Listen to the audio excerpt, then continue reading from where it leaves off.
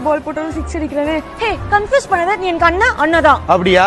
சரி இனிமேல் நீ அண்ணன் கூட தான் பீச்சுக்கு வர அண்ணன் கூட தான் பார்க்குக்கு போற அண்ணன் கூட தான் தேட்டருக்கு வர. ஏன் ஏன் நான் உன் கூட வரணும்? ஏன்னா காலம் அப்படி இருக்கலாமா? அண்ணன் கூட வந்தாதான் ஒரு பாதுகாப்பு அதுக்காக.